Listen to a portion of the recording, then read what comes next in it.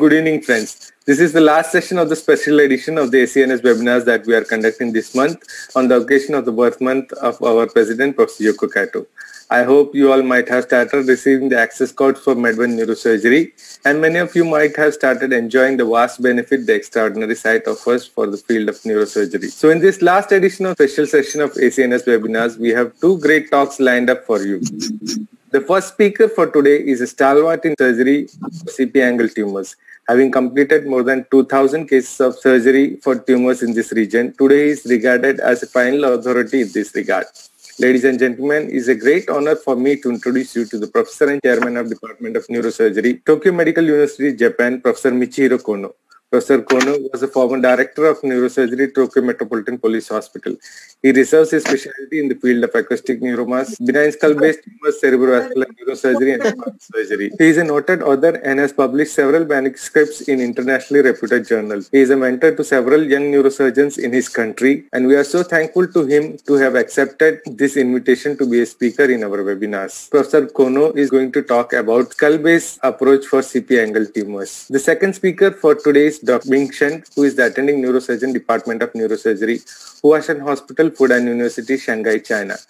Professor Shen reserves his specialities in the field of pituitary surgery, endoscopic skull-base surgery, and today is going to talk about the role of extended endonasal endoscopic transtuberculum transplanum corridor in the management of pituitary adenomas. We are so thankful to Professor Shen to have accepted our invitation to be speaker today.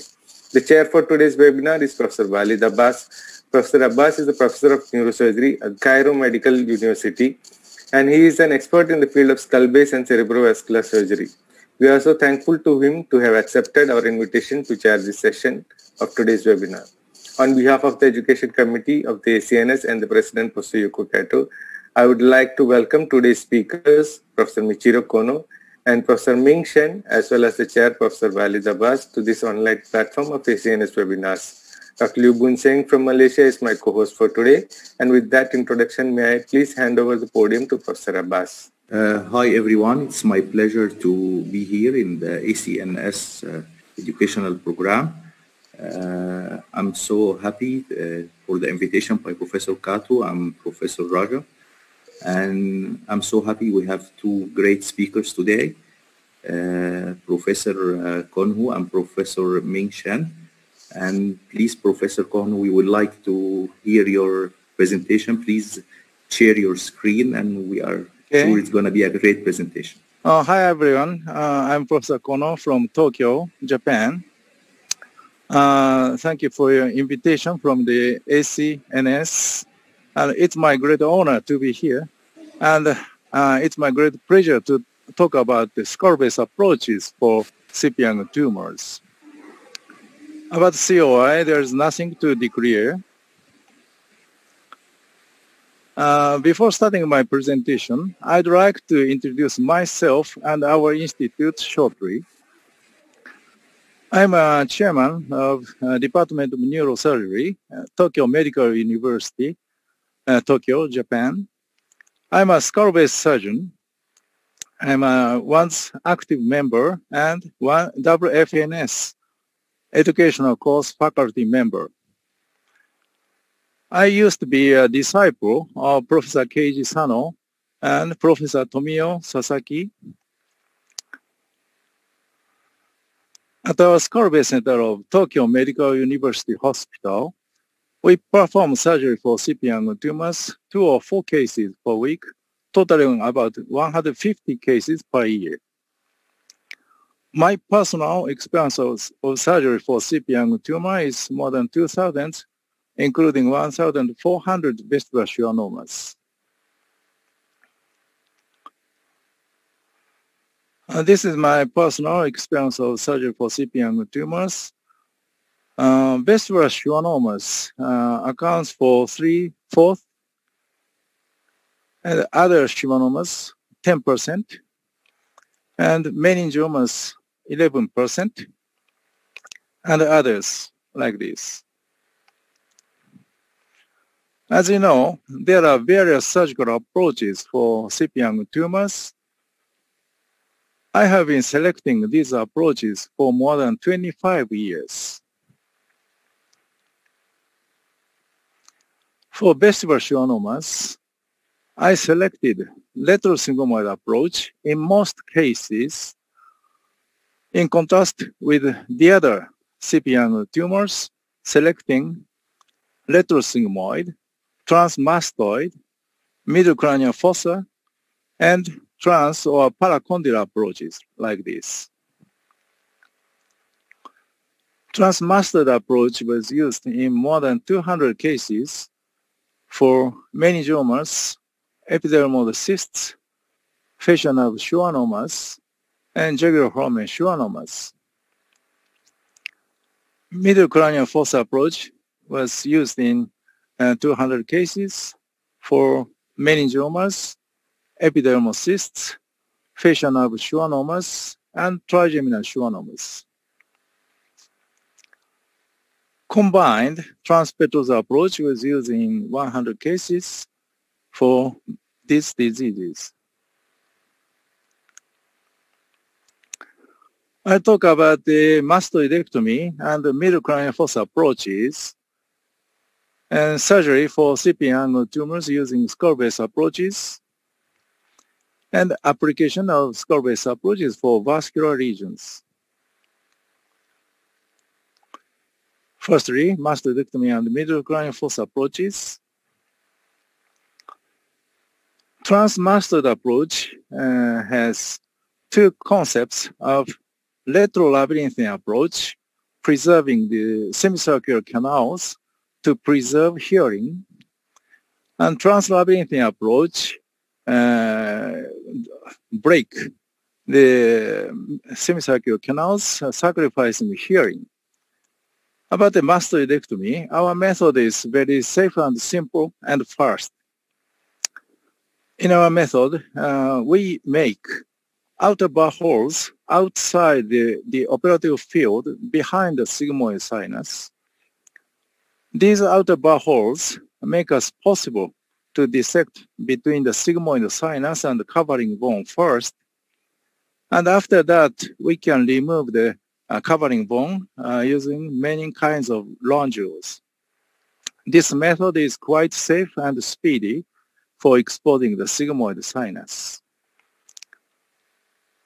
left side. These are the outer, outer burr holes. After removing the mastoid surface, we can see the lateral semicircular canal and I'm thinning the covering bone of the sigmoid sinus.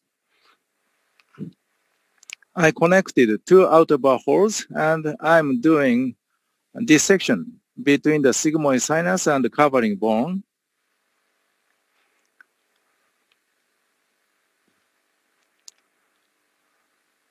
We can see the semicircular canals and exposed sigmoid sinus. In this case, uh, we did the combined transpetrosal approach, and I'm cutting the middle meningeal artery, and we can see the GSPN here. And uh, I'm doing the anterior transpetosectomy. This is the com uh, typical combined transpetrosal approach.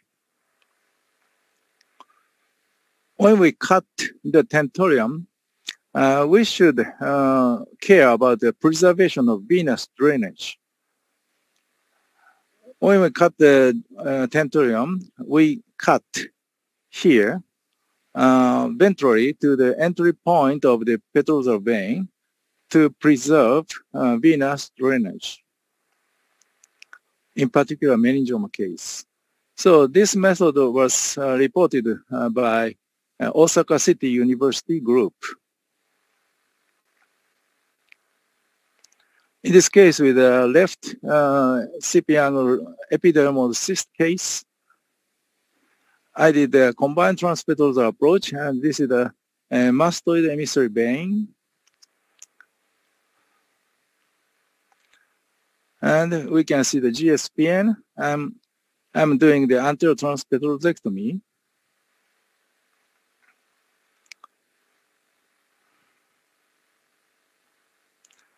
So we should remove this area to enlarge the surgical field.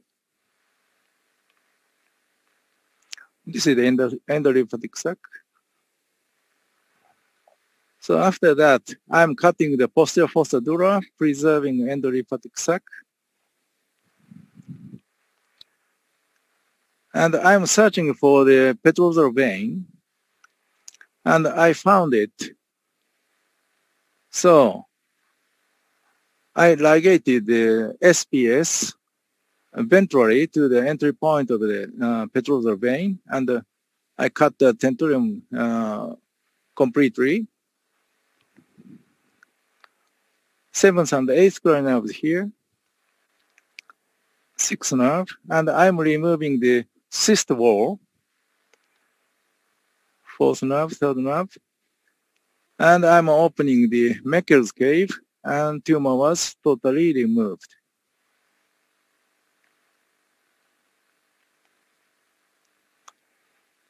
hearing was preserved and post-operative course was uneventful.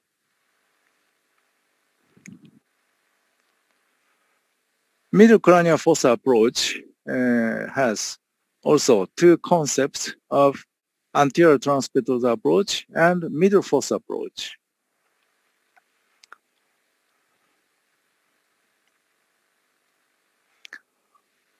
Anterior transpetrosal approach is used for uh, trigeminal schwannomas, tentorial meningiomas, and prepontine lesions.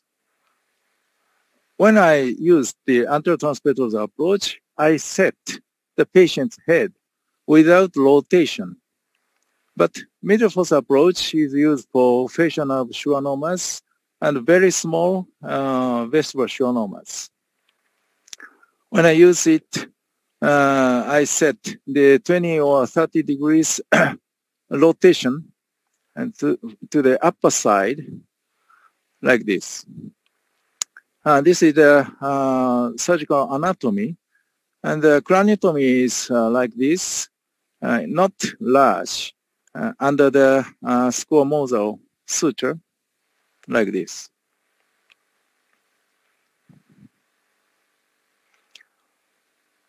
This right side, this is the area of drilling in anterior transpetrosal approach.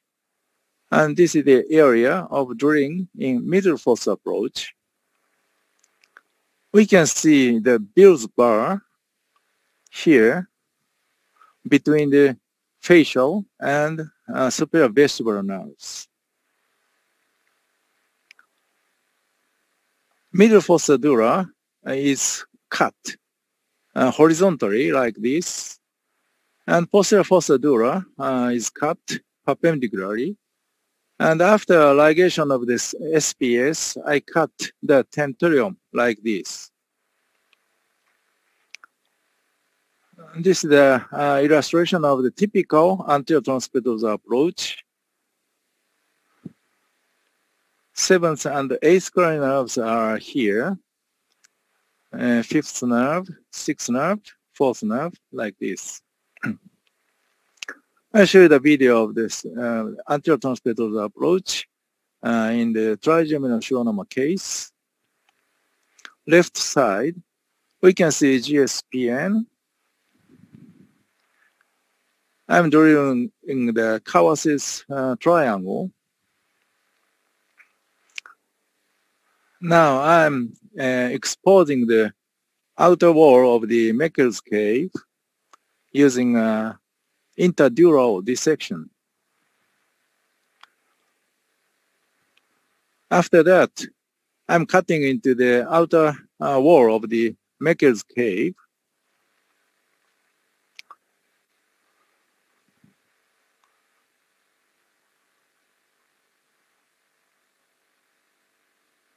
So tumor was uh, removed uh, piece by piece. tumor was uh, totally removed and this is the uh, normal uh, fiber of the trigeminal nerve and we can see the abducens nerve here. Tumor was totally removed. In this case with the vestibular schwannoma, uh, as I mentioned, uh, we routinely use the retrosigmoid approach, but uh, I found the dorsal displacement of fund facial nerve. Uh, so surprisingly, so uh, I took the tumor like this, and uh, for the remnant, I reoperated uh, via the middle fossa approach.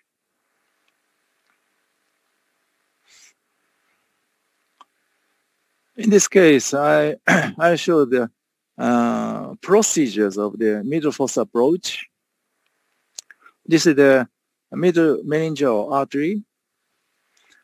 And I'm uh, dissecting the uh, GSPN from posteriorly to anteriorly, like this.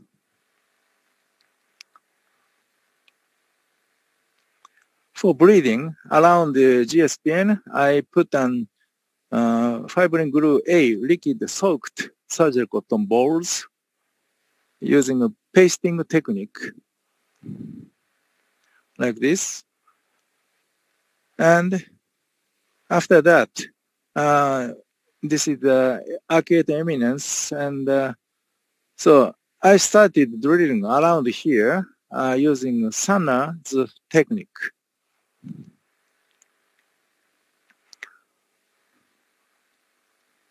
After identification of the uh, IAC dura, I drew uh, like this direction, like this.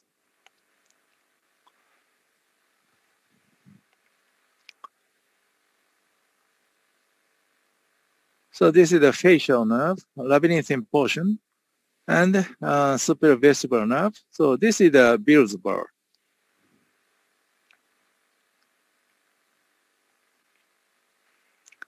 So this patient needed uh, two surgeries from uh, retrosigmoid and middle fossa approach.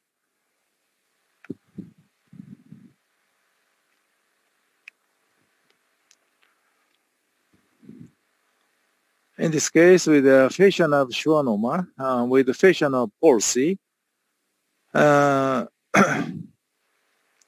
very small tumor. So I use the middle fossa approach, right side. We can see the genicular ganglion part and uh, tympanic portion part removing the tumor and we can see the stapes and tumor was uh, totally removed. And after mastoidectomy, I cut the uh, distal end of the tumor and using a sural nerve as an interpositional nerve graft and I completed the facial nerve reconstruction. Next, surgery for CP angle tumors using skull-base approaches. Firstly, uh, for vestibular schwannoma surgery. So I uh, have some experience of translabyrinthine approach like this. But uh, we routinely use the continuous facial monitoring like this. So this uh, translabyrinthine approach provides very small area. So it's very difficult to do the uh, continuous uh, facial monitoring. So I, I don't like this approach.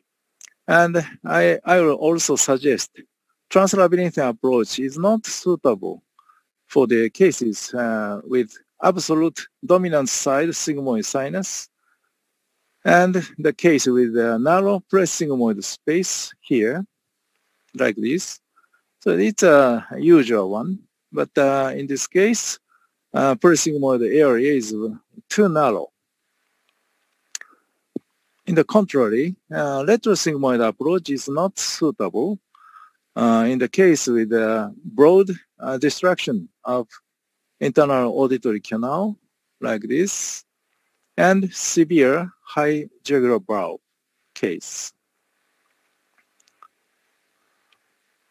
In this case, uh, with a uh, broken uh, uh, internal auditory canal.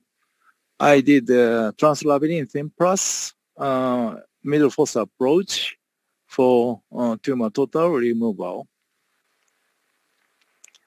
In this case, also we can see the uh, destruction of the IAC.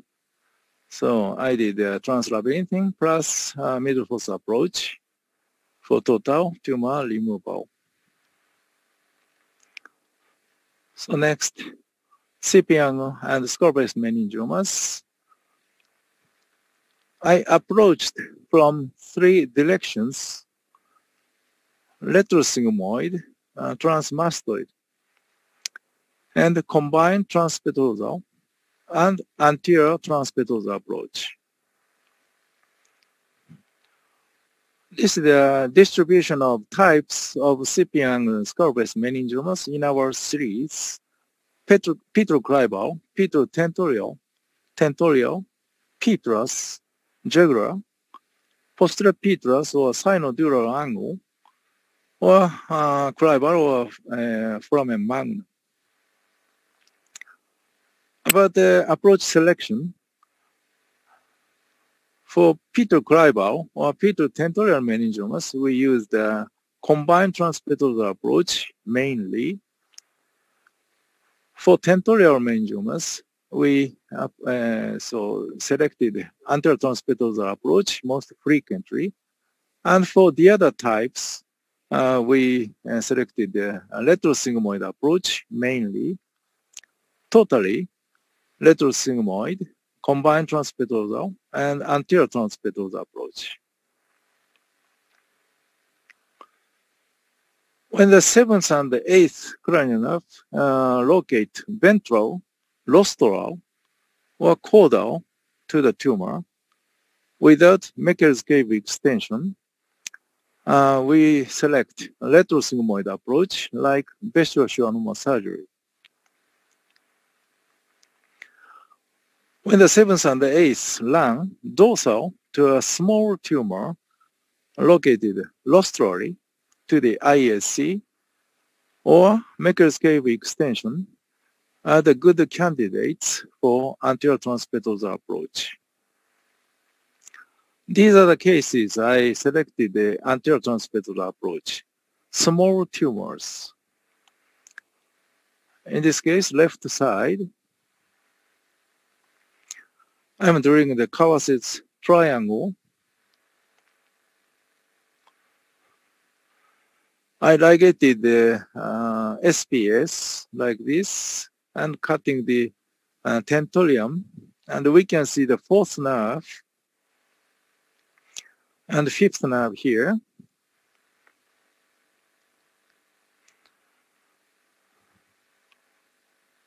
So cisterna portion was uh, removed and after that I'm opening the IAC from rostrally. I'm taking the intrameatal part of the tumor. And tumor was totally removed. Uh, we can see the basilar artery, uh, seventh and eighth cranial nerves.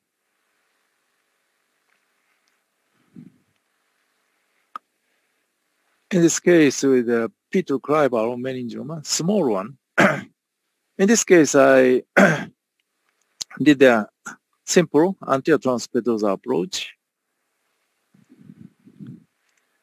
Right side, I'm doing the anterior petrosectomy.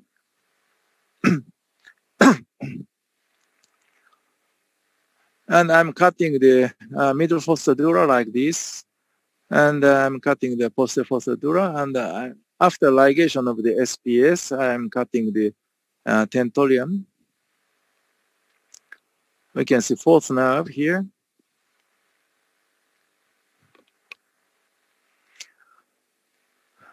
after opening the uh, Meckel's cave, I'm searching for the uh, feeders from the uh, meningohypophyseal trunk, and I found it.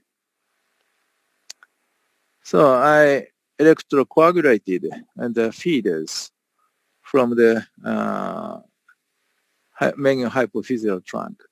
Uh, this is the fourth nerve, sixth nerve here, and uh, we got the response from the sixth nerve stimulation. So under the uh, continuous uh, abducens nerve monitoring, I am taking the tumor. And we can see the basilar uh, artery. And I'm pulling down the uh, supratentorial uh, part like this. And we can see the tentorial edge and third nerve here.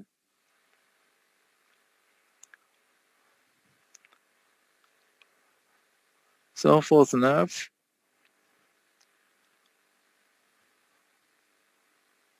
Fifth nerve and the sixth nerve.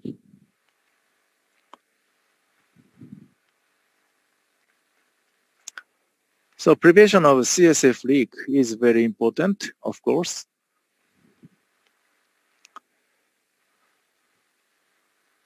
Postoperatively, uh, there are no uh, abducens nerve palsy. And uh, I left a uh, small tumor inside the Dorello's canal here.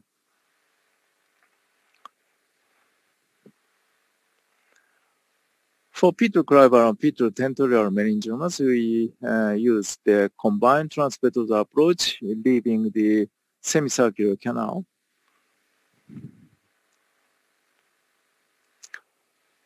Uh, these are the cases I uh, selected a combined transpetal approach, uh, big tumors like this.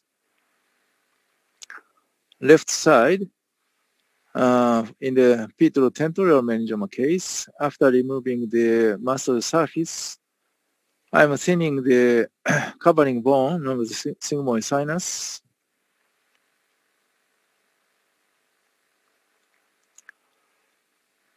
So we can see the semicircular canals.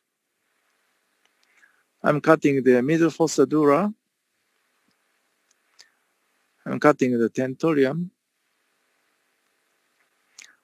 We can see seventh and the eighth cranial nerves here. After internal decompression, we can see fourth and uh, fifth nerves. I'm opening the internal auditory canal, seventh and eighth cranial nerves here. Basilar artery, sixth nerve, fourth nerve, third nerve, pituitary stalk,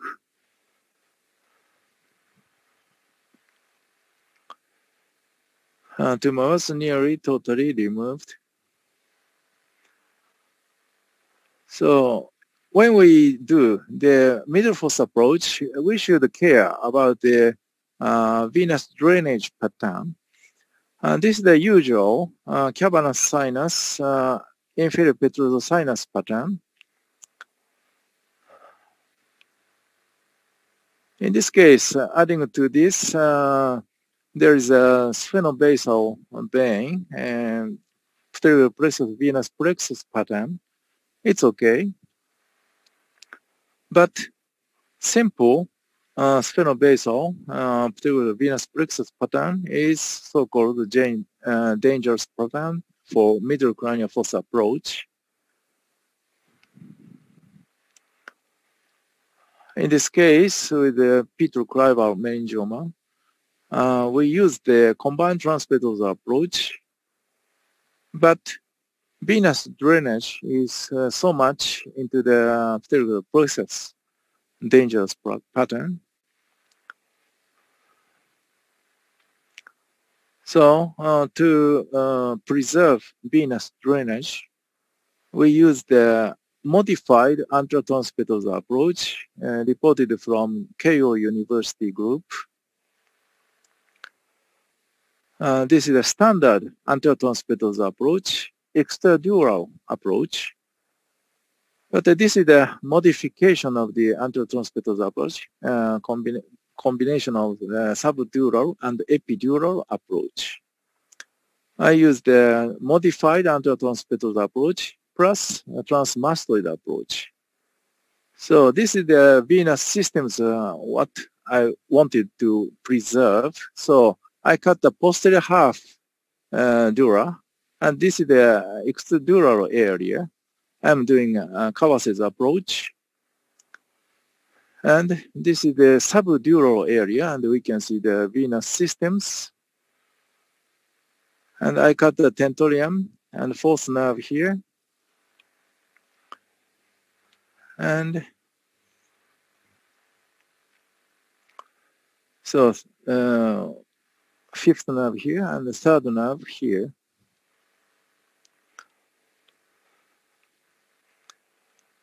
So tumor was uh, nearly totally removed. Uh, jugular tumors. Uh, I operated 160 uh, cases and uh, jugular foramen schwannomas uh, accounts for just half of our series. And I'll talk about the most frequent uh, jugular foramen schwannomas. According to the type classification from Professor Fukushima's group, for type A, intradural, uh, we use the retrosigmoid approach. And for type B, and dumbbell-shaped, and for type B, type C, uh, triple dumbbell-shaped tumor, we use the transmastoid transjugular approach. And for type C, we add high cervical exposure About the routes for jugular tumors, retrosigmoid approach has two additional options of retrosigmoid suprajugular approach and infrasigmoid approach. Transmastoid transjugular approach has two ways of uh, transmastoid suprajugular approach and transsigmoid approach. Using this illustration of uh, triple dumbbell-shaped jugular foramen schwannoma, retrosigmoid approach and two additional options of retrosigmoid suprajugular approach and infrasigmoid approach and uh, transmastoid suprajugular approach and transsigmoid approach. Uh, about the infrasigmoid approach, after uh, of the jugular process, uh, cutting the condylar emissary vein and marginal sinus, and um, ele uh, doing elevation of the sigmoid sinus allows us to enter into the jugular foramen from medially. In this case, with a dumbbell-shaped uh, tumor, left side, after partial mastoidectomy, we can see the uh, condylar emissary vein and the jugular bulb and internal jugular vein. And after that, uh, via the retrosigmoid approach, I took the uh, cisternal portion. We can see 10th nerve here uh, after cutting the condylar emissary vein, and I'm doing elevation of the sigmoid sinus, and we can reach the uh, foraminal part of the tumor like this.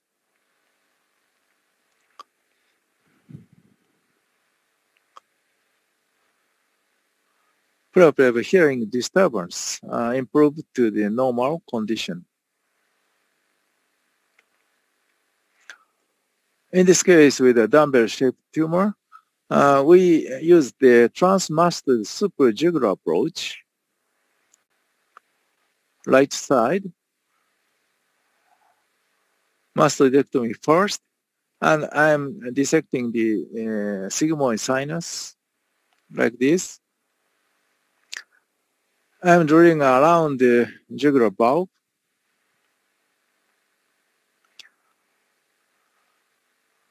And we can see the uh, tumor and jugular bulb here.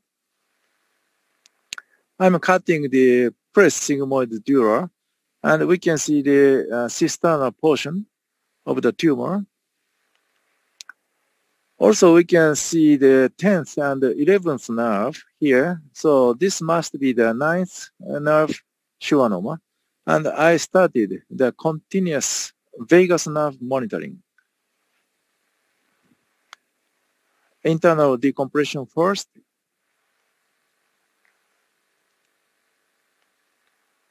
Like this. We can see eighth nerve here. and uh, seventh and eighth cranial nerves. And after that, uh, I approached uh, the uh, foraminal part of the tumor. This is the jugular bulb.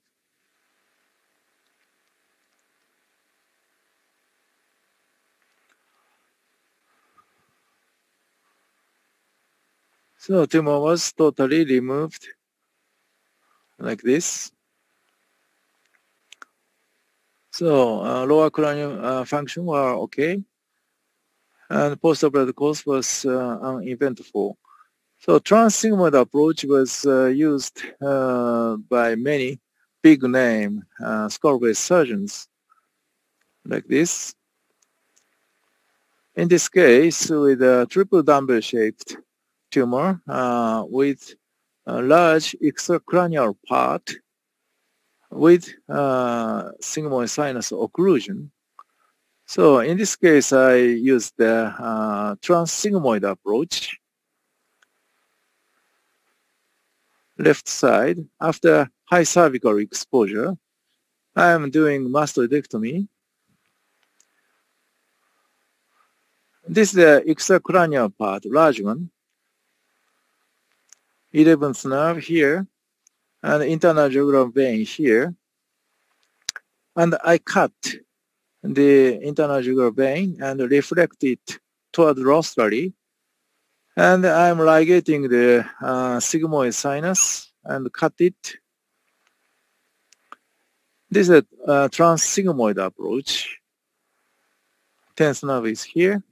And after that, I'm uh, approaching the extracranial part and uh, lower cranial function was com uh, completely compensated by the, the other side. So I took the tumor totally. And uh, this is the big tumor cavity.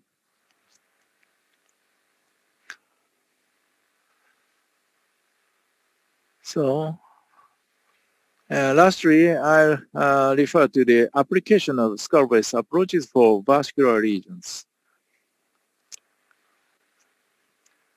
Uh, for STA SCA bypass, the subtemporal approach is uh, generally used, but we usually select the transmastoid transtentorial approach due to the minimal disruption of the temporal lobe.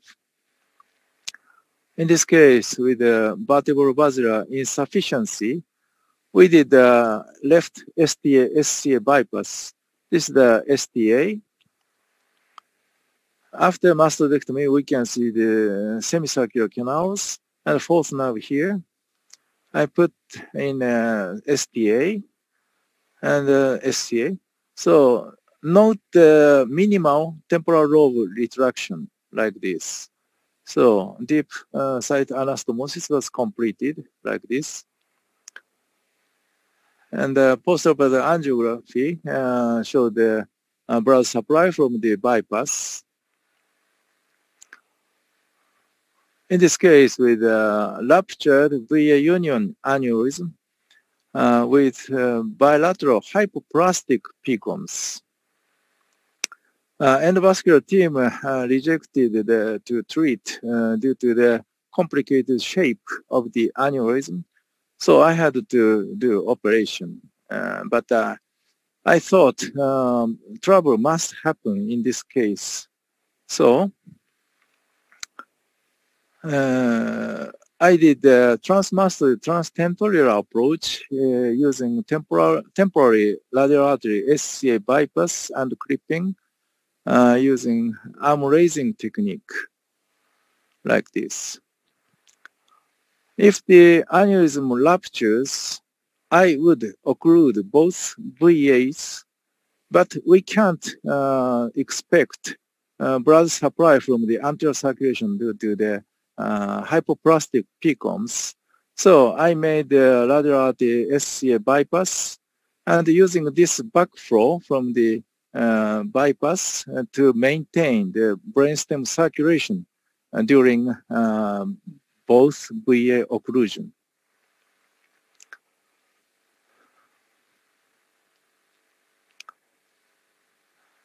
I'm checking uh, arm raising before surgery and uh, after mastoidectomy and cutting the tentorium fourth nerve here, both VAs, uh, SCA. So arm raising, lateral artery,